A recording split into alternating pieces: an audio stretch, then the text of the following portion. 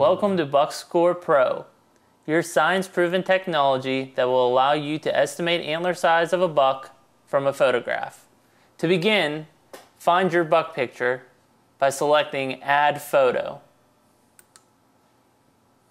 Here you will enter information about your deer.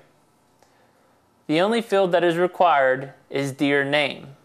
All other fields are optional and for your personal records only. Once your information is complete, click the Browse button to begin to navigate through your computer and find the picture of your buck.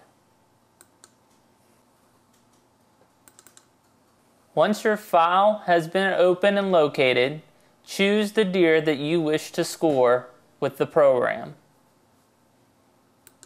Then click Open. Your picture is now located at the top of the detail box. When finished, click Add. The deer that you had just uploaded into BuckScore Pro is located in the bottom right portion under Deer. Here you will see the deer name that you assigned to the particular animal. Select the deer that you wish to score and its picture will appear in the BuckScore Pro window. When ready to score, select Score under Edit Photo.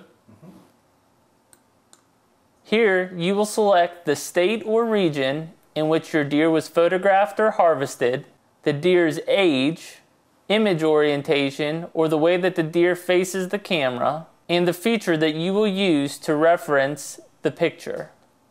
We will begin with choosing your state or region.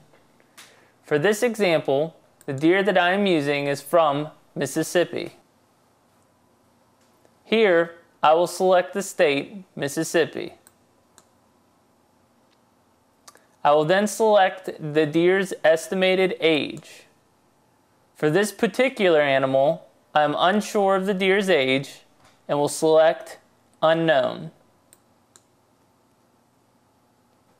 Then I will determine the way that the deer is facing the camera. This deer is looking exactly at the camera, so I will use the zero degree image orientation.